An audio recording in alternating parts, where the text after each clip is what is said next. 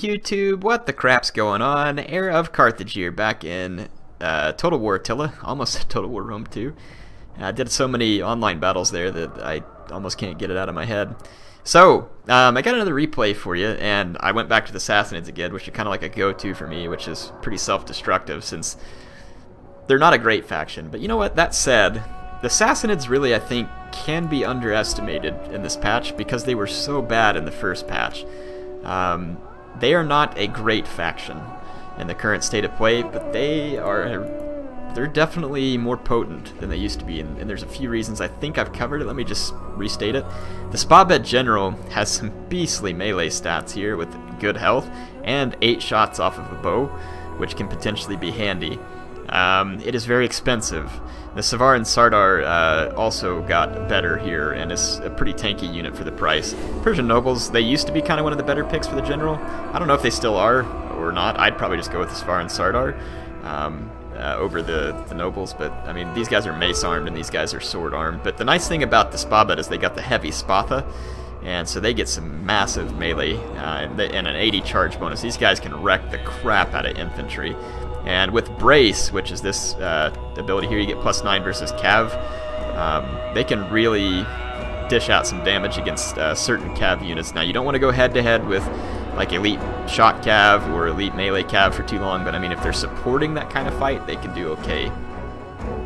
Uh, Sogdian Warriors still very vulnerable to missile fire and not a real crazy strong unit, but if they were going up against units uh, that have high armor, um, and low attack, they're actually pretty decent because they they flipped the melee damage. It used to be 5 armor piercing and 20 base. It's now 20 armor piercing and 5 base because they wield a mace as well. And with the 57 melee attack, they land hits pretty often. Their charge bonus, though, is pretty lackluster still, but typically there's no charge bonus on the type of units that they do best against, which are like the Romanesque type units. Now, don't be confused. Palatina or a Gothic Palatina or something like that, they will slash and hack the Sogdian warriors to death almost instantly. Um, if you're looking for something more sturdy and tanky, the Elite Dalamite warriors are a solid choice because they've got um, this discipline trait, so if your general dies, it's not as bad for them. They are quite expensive, but they're a pretty tanky unit, especially if you can get them in the shield wall. And then you don't have the discipline trait with the Dalamite warriors, but again, if you can get these guys into shield wall, they're pretty handy, and then the two javelins can be used to decent effect. Uh, Persian Brigade, of course, are more of a supporting unit. They have great attack stats for their price, but they're just very fl uh, flimsy. Archer-wise, you're in a lot of trouble. I mean, even their cheapest archers are kind of an overspend, so really I like to kind of stick to the Armenian slingers if I want any skirmishing uh, power. They are very expensive, but the thing is, these guys can eat skirmish fire like crazy, uh, because they have an excellent missile block chance, um, for, and they have actually pretty good health for a skirmisher as well. Yeah, and then as far as cavalry-wise goes, the, the Sassanids have a lot of really weird cav. Um, the Persian scouts and the Lakhmid scouts are both uh, utterly worthless uh, in multiplayer and don't serve a whole lot of purpose in campaign either. The price on these guys just needs to go down or change their stats, like something about them needs to change. These guys are, only have 90 speed too, which just sucks, like a scout unit with only 90 speed. So they're not even good at scouting in that regard. So it's just kind of a weird deal. Um, the Persian Mounted Warriors are pretty good for their price. Uh, they are medium, so they will get crushed by heavier cav on the charge, but you get decent stats out of these guys for sure. The Pajama Mounted Warriors here. Uh, Persian Camel Raiders are, because it's a raiding unit, it costs more and it's just worthless. Uh, decent health, but I mean for 725 you really get nothing here that's worth your while. Um, and the Camel Clibanarii, these guys are fun to use, but again, very expensive. They scare horses, but you don't want these guys anywhere near horse cavalry because they don't have a spear. They've got an axe. Now this would be a cool unit if they would spear arm it. Um, and uh, then it might be kind of a fun unit uh, to use. Uh, it doesn't have much of a charge bonus either, but the, you know, a pretty pretty interesting unit. The Sogdian Camel Raiders have insane health, but again, what's the point of this unit? It has almost no melee attack. It's very expensive, and what's it going to kill? Um, it doesn't have an attack versus cav, it has an attack versus infantry, but its melee attack is low because it's a raider unit. All raider units seem to get robbed of all potential melee attacks, so this unit is utterly pointless. So these are the things that hold the Sassanids back, but what units, again, like I said, that they do have are good. Persian Mounted Warriors, Griv Panvar, and Pushtegban Cataphracts, these guys are all beastly. Um, they're almost never worth the price, but Gyan-Avspar can lay down a beating like no other shot cav in the game. These guys are amazing. But again, the price is pretty prohibitive. And even these Persian cataphracts and uh, Sevaran cataphracts can be handy. They're only medium rated, but you get decent stats for the price again on those. Um, and if they ever put uh, Parthian shot on these Sevaran cavalry, GG to other cav. Uh, because these guys can wreck enemy cav, they just don't have Parthian shot, so you have no way to skirmish. Elite Sevaran cav, I, yeah, no, no purpose here either. So I think the biggest problem for the is like half their roster is worthless. Uh, elephants aren't worth their price. Uh, never have been in this game, and at this point, if nothing gets changed, they never will be, which is unfortunate because they're the only faction that bring elephants. Naft throwers do have an interesting place, um, which weird is that they have huge melee attack. I don't know what weapon they're carrying that gives them such melee attack, and uh, must be a mace. Yeah, they're carrying a mace. So if these guys didn't get charged and got into melee, they don't have many men, but what they would dish out some decent damage. And of course, their uh, Naft pot can cause some damage. So anyway, the Sassanids are an interesting faction. I just kind of wanted to recover them real quick because I think a lot of people underestimate them. And uh, not again, don't be taking this as to mean that I think the Sassanids are some kind of competitive power faction. If you're playing under rules that limit you to like a max six or eight cav, the Sassanids are not going to be all that great. Um, but if you're not under those rules, and in fact I would recommend to make the Sassanids more viable in tournament, that them, them and the Huns probably not get held to the same cav limits that the other factions do, because it would give them a more unique flavor. But at the same time, cavalry is so strong in Attila, I can understand why those type of rules make it into the tournaments. So I've brought the same army that I've used in a different video, and I think actually on the self-same map as well. We've got six Griv Panvar, and they're being supported by four Persian-mounted Pajama Warriors, and then, uh, let's see where my Pajama Warriors at. They're somewhere over here, right here. No, that's not my Pajama Warrior. That's my Spabed. So I got a Spabed. Ah, here's my Pajama Warriors right here. So, and then I've got four uh, Dialemite infantry and then four Armenian slingers. You can see, again, the shields on these guys, and that's what makes them so worthwhile. They have 175 range, which is nice, and they are very deadly, but their ammo is very limited, and it has to be spent properly. Um, so again, I'm kind of lining up my Griv Panvar on the flanks. My opponent is is uh, playing over here as uh, some uh, Alan Spaghetti. Everything he has is spaghetti, except for his guys in loose formation up front like max spaghetti. I don't know if these guys are quite max, but they're pretty close. Yeah, so I, I don't know what it is with spaghetti lines in this game. They they are good in certain scenarios, but not in every scenario. So like for instance, uh, my guys aren't doing great, but my Dialemite Warrior's having a few extra ranks here. If I go into Shield Wall, they might actually have some chance to brace against Cav. You go into any kind of defensive formation like this and you still get wrecked and cavalry will wreck you. I mean, braced, unbraced, whatever. You're wrecked. Um, now, cavalry will generally wreck your infantry anyway, but I mean, then you get it all spread out, and you got to be able to support it as well. Again, there's times to spread your infantry out, and it will work, but I think that a lot of people do it just for the sake of doing it. Like, so, we'll see. Again, I, I see the point of it, and it definitely has uses. Uh, I have my slingers up front. My opponent's slingers are not in range, and I'm not quite in range of his slingers either, but I have no intention of firing his slingers. His slingers are not going to do anything to any of my troops, unless they can slow down my shock cavalry. Um, but they're certainly not going to hurt my Armenian slingers, and they won't do hardly anything to my Dialemite warriors. They could, but the Dialemite warriors aren't really the real threat that I have for my opponent. It's my Griv Panvar um, and my Armenian slingers that are the real threat to my opponent.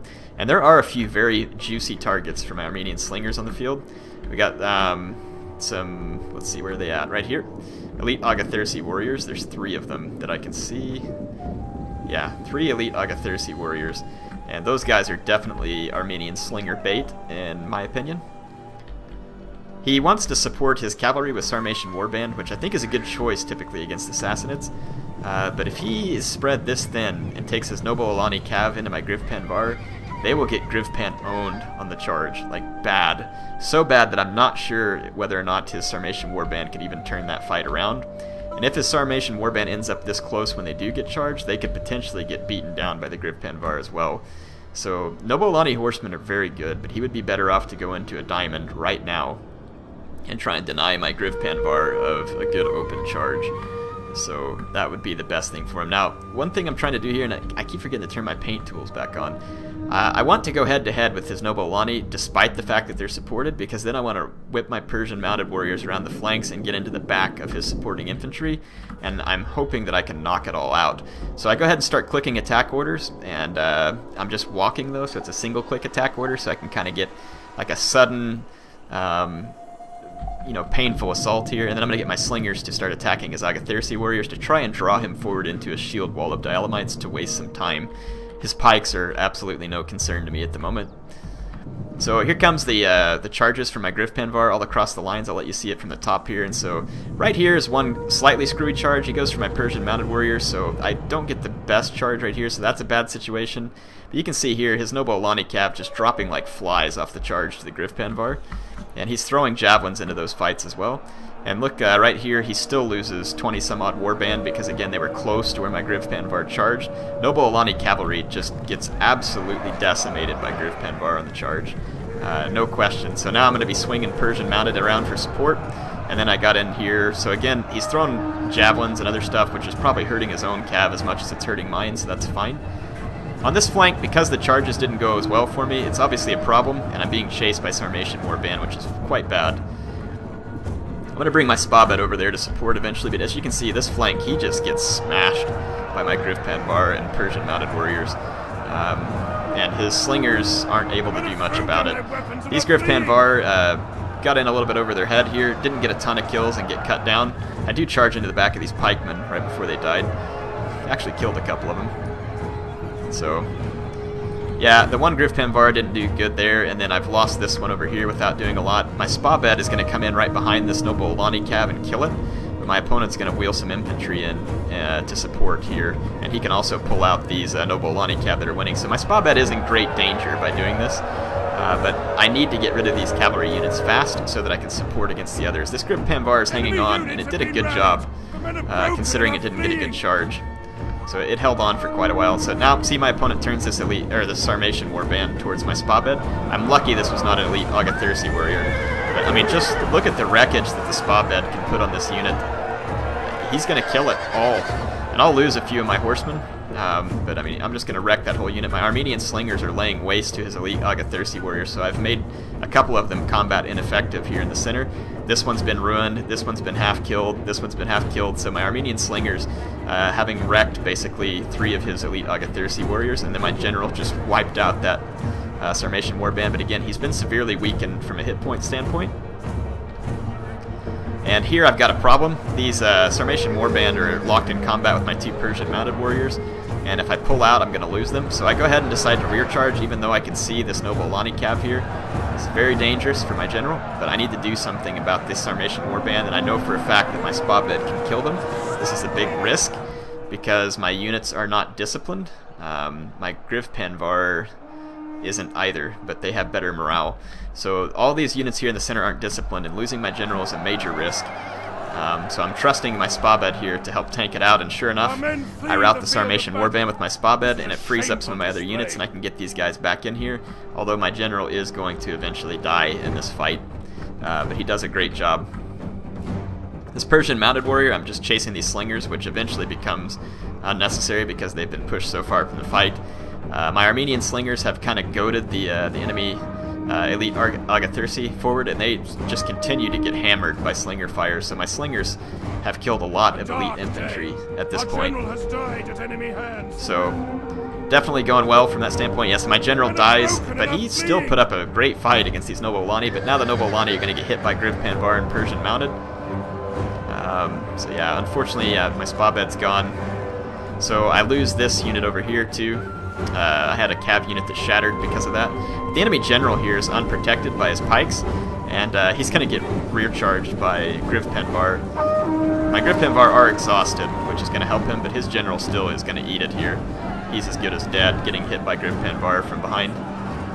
Two units of them, to be precise, and then I've got a Persian mounted warrior working its way through the center to get in. Now, my opponent said he had been dropped from the game at the end. Uh, I don't know whether he dropped or got lost his connection or whatever. But this is an example of how the Sassanids can potentially stand up to one of the power factions.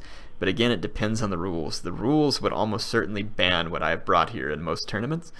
Um, but I kind of like if those rules can get bent for the Huns and the Sassanids because then it makes some heavy cav builds with them more feasible and uh, allows them to play in such a way that they're more competitive against factions like this who wield better skirmishers, better infantry, and more solid melee cavalry. Um, anyway, it worked out good for me here. My Spabed did kind of um, clutch out a few key things for me, even though my general died. He, he went down with a, an amazing fight, uh, killing those Sarmatian, two units of Sarmatian Warband, basically, and helping to finish off a Noble Alani Cav, so a very important unit here. And then uh, a couple of my Griv Panvar, I mean, just crushed the Noble Alani Cav they were opposite of. Uh, not a ton of kills on them in this game, but my Persian mounted warriors were able to come in and get some important kills. And then it's really my slingers. Look at this, 114, 131, 95, and 73 for a 400 talent unit getting kills on Elite Agathyrsi. I like it. Um, in fact, I'm curious. It's good enough for me to make those guys combat ineffective, um, just for the sake of. So if we go in here and let's see. So he picked the Alans. I'm surprised he didn't bring an Alani General. I was actually really concerned about running into an Alani General. He, he may have been scared that it would get hooked up with my shock cav during the game, which wouldn't be the best place for an Alani General. Um, but still, it's a tough unit. So Elite Agathyrsi are 725, and so I have four slingers at so 400 talents to 1600 talents that ruined uh, basically 2175 talents, so definitely worth it. So that's another target that slingers are good at, and it's really because they don't have a missile block chance. So you see here, very poor missile block chance and low armor, which is what slingers excel against. Um, and the Sarmatian Warband, low health. I don't know what their block chance is, but it doesn't look good. Or, sorry, I was looking at the wrong one. They actually have pretty good armor. So yeah, see, it wouldn't be as good to be firing at these guys or the Noble Germanics, but both of these units are very uh, danger. And so again, a lot of people bring the Germanic archers; they're good units. Um, and my opponent, my opponent didn't bring them here. He brought hurlers instead, which is fine. You can slow down enemy shock cav with them. But uh, in this case, he wasn't really able to do it, and his hurlers didn't end up paying off for him. But I mean, they're cheap units, and if you can get them to get any kills, uh, a lot of times it'll be worth it. Or just to even draw enemy fire, or slow down enemy cav or infantry, it can be worth it. Anyway, hope you all enjoyed this. I love using the Sassanids. It does not always go well when I use the Sassanids, but I still like using them. I, I like them because they're kind of a break-the-mold faction in Attila. They're quite different. And anyway, Heir of Carthage, signing off for now.